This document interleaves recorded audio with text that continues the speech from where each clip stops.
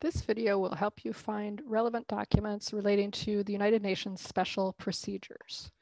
We'll be using two links to navigate to the relevant documents. You see those links up on your screen. The first URL will take you to this page where you see all of the United Nations member states and each country that's a United Nations member state has its own web page dedicated to human rights issues. So we'll take as an example, um, let's do uh, Tajikistan. So if we click the Tajikistan page, you'll see the status of ratifications, the reporting status for the different treaty bodies, um, whether there are any standing invitations to the special procedures mandate holders. But most relevant for our purposes, you can click here to get through to the Universal Periodic Review documents if you like, but also the special procedures. So you can click the link to country visits by special procedures to see whether there have been any recent country visits. And you'll see here that certain ones were completed, um, certain requests are inactive, um, but here you can see to the extent that there was a country visit, then you can click through and get the relevant supporting documentation. Typically there's a report that the um, special procedures mandate holder issues after the visit is complete. Um, and some of them are in the negotiation stages. Some sometimes the state under the, the, the UN member state has accepted the invitation, but they haven't yet worked out the details. Um, if you go back to that main pa main page for Tajikistan, you can see um, the most recent special procedures reports are linked here, so you don't have to go through that drop-down list that you saw on the previous page.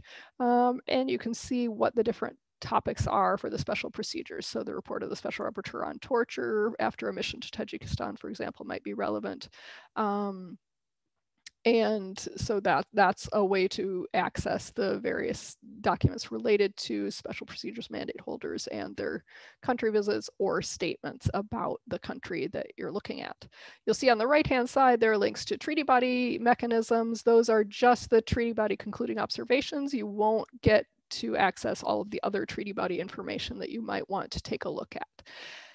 The second URL takes you to the communications report um, database, which is a really rigorous tool that can give you access to communications that are filed with the um, United Nations Special Procedures mandate holders.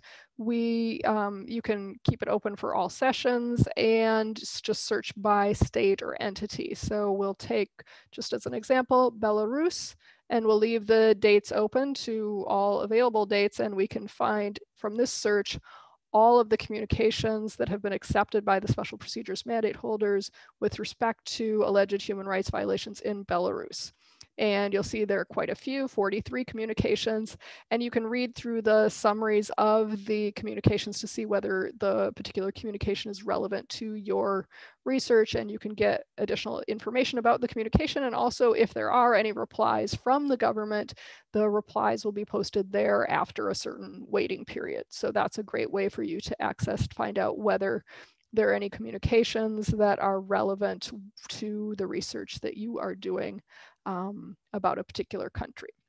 So those are the two websites I wanted to show you to help you access information related to special procedures mandate holders. I hope that was of help.